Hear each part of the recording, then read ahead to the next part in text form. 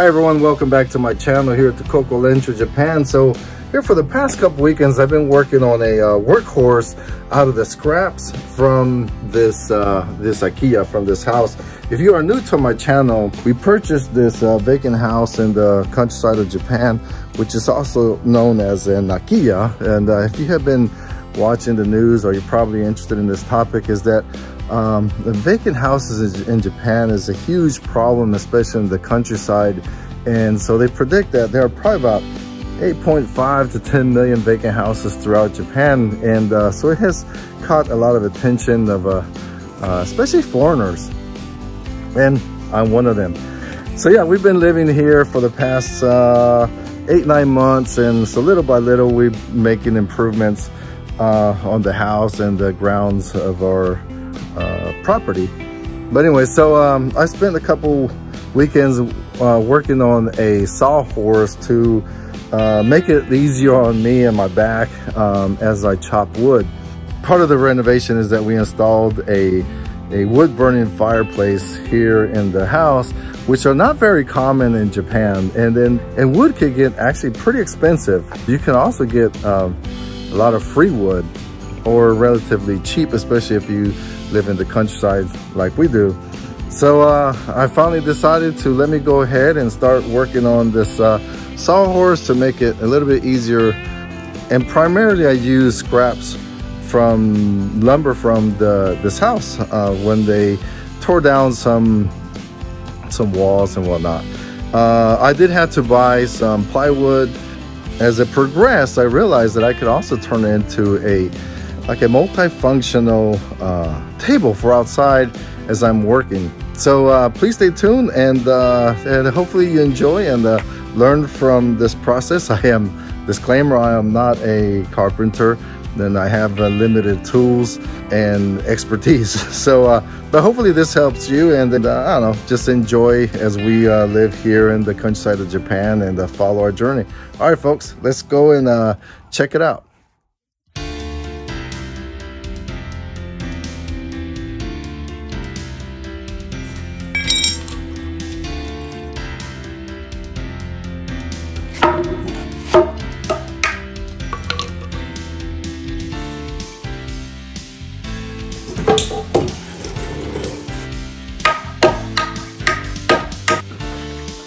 Kitty, kitty, kitty.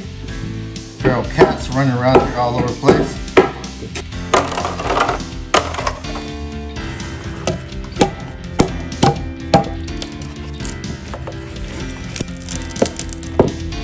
Yeah, and as, as I mentioned, one of the frustrating parts about doing this project right now is that uh, I just don't have everything set up.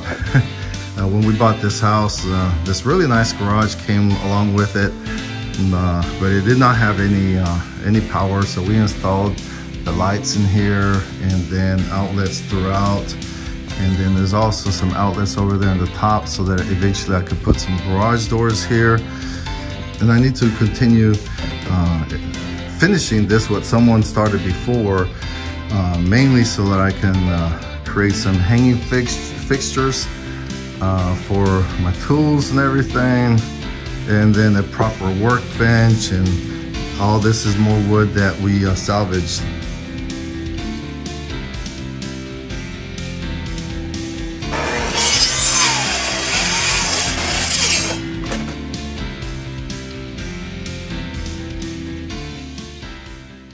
So Black Cat, that's the delivery service, kind of like FedEx, UPS in the States, but these guys are freaking efficient. They, they will literally go anywhere. Um, they will deliver by bike if you're in a really, really remote area, motorcycle, uh, these trucks. But uh, let's say today is uh, Sunday, as a matter of fact. So even if you're in the rural area, don't don't be worried. You can uh, order all kinds of stuff on Amazon Japan, and uh, they'll come uh, very, very promptly. Back when I was a kid in Mexico, uh, we used to sharpen our uh, our pencils like this with a little razor blade. Imagine nowadays at American school how times have changed.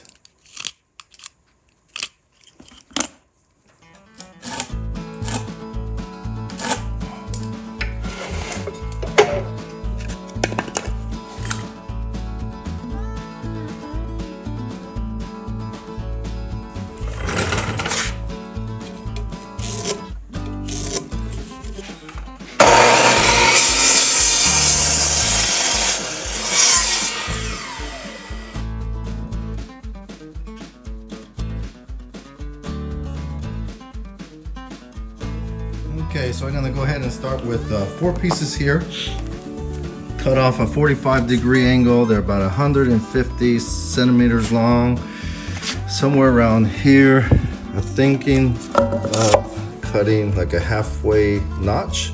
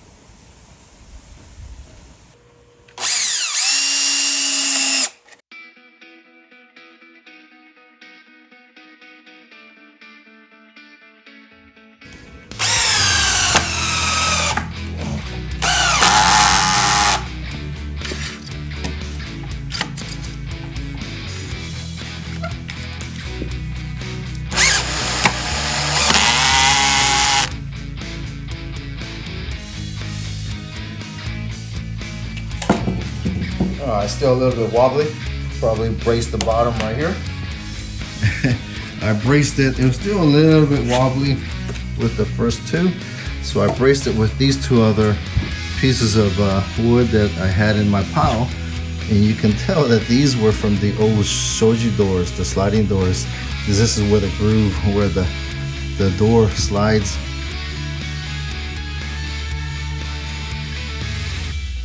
All right, so about to give this bad boy a test. Uh, seems pretty sturdy. Folks, uh, uh, please do judge uh, with constructive criticism because I have never done this before and I am definitely not a carpenter. So um, if you have any recommendations to improve this or make another one, uh, let me know.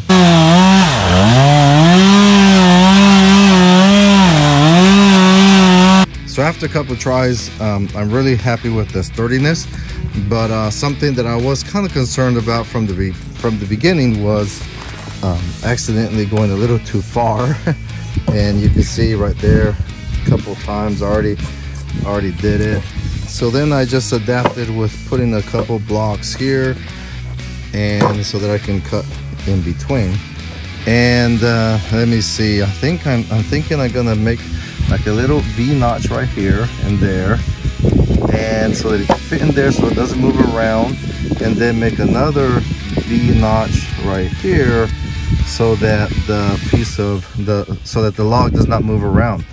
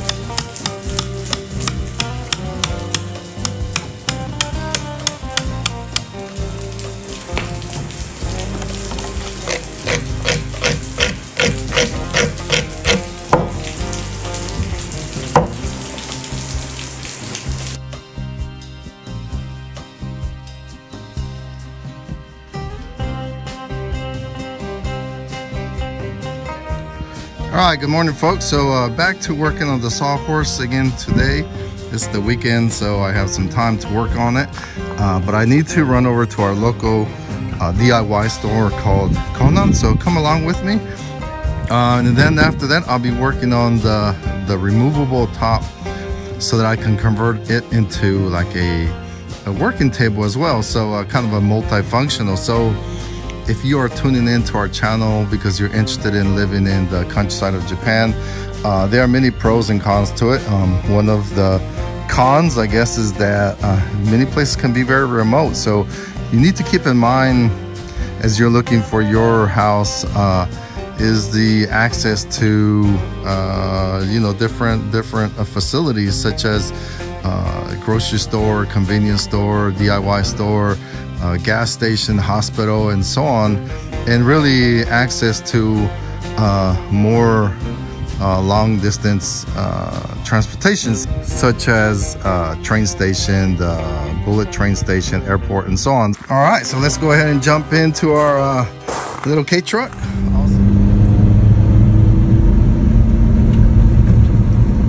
All right, excuse me if uh, it's a little windy here, but I figured I'll go ahead and make a quick little stop by our convenience store and show you guys everything I was just talking about. So right there in front of us is uh, Homestuck. That is our local hardware store. And then literally right across it, there's the, uh, the one gas station we have in town.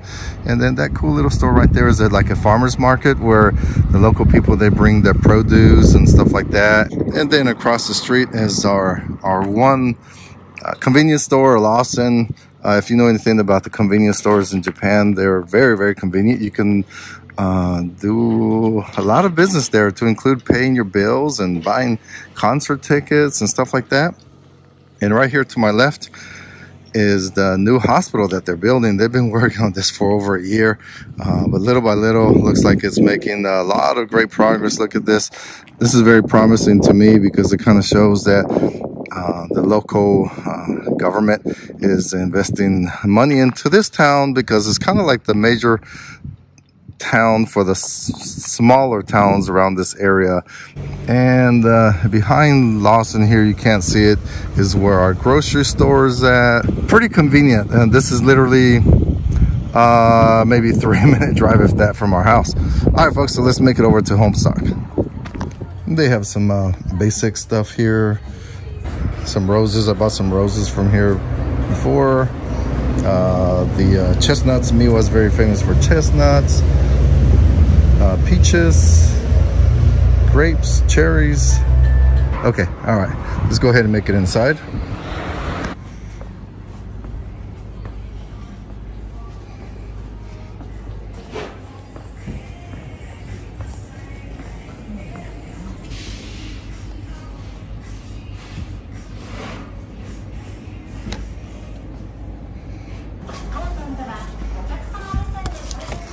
I need to get one of these because the one that I've been using right now is not very uh, uh, user friendly. Plus, it's an old thing. Yeah, it's uh, it's about a hundred some dollars.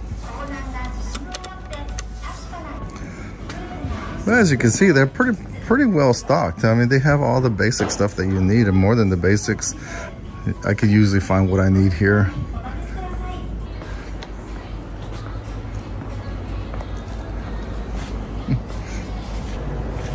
And down over there in that section is where they have like uh, more of the household item. Okay so i got two sheets of plywood and uh, paintbrush that i'm gonna it's going to end up being unusable after i'm done and some uh, water repellent wood protection. All this came out to about 54 dollars. All right let's go ahead and make it home that way. What i'm thinking is i'm going to put one on top draw out the where the I guess the the the top will be and then sandwich them together and uh, uh, and, uh, and screw them together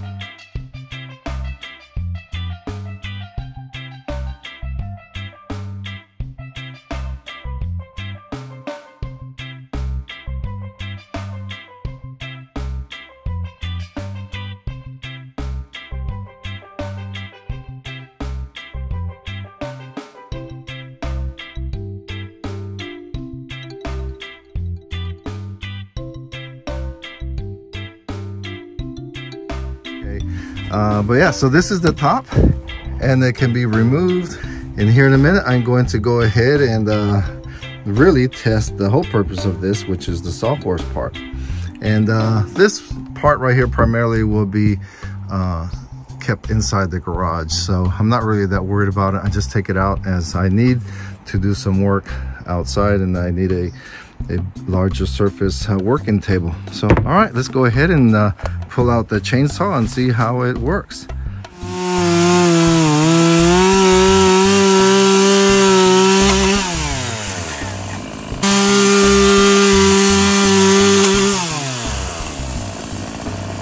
Uh, much better. Uh, however, I still managed to nick it twice because as soon as it cut, it just boop, dropped. And uh, uh, so we'll see what happens. Uh, I don't know if I need to elevate these a little bit more or just live with it. It is what it is. Again, I think I'm probably getting a little OCD uh, by now. Um, or later on, I'll probably just end up uh, moving these down a little bit lower. So if you're making something like this, probably move it down a little bit lower uh, to keep it from getting nicked. These blocks uh, work pretty good. It, it just kind of keeps it in place and then I can move it around uh, so that I can cut like a smaller logs. Very sturdy. And again, and that serves as a multifunctional work table as you're doing work outside. All right, folks, uh, hopefully you enjoyed this uh, video on how to build a sawhorse using scrap lumber from, in our case, from uh, old traditional Japanese house in the countryside. You see it way over there in the background. Thanks for following our journey here as we live in the countryside of Japan and uh, uh, have a great day. Thanks, bye.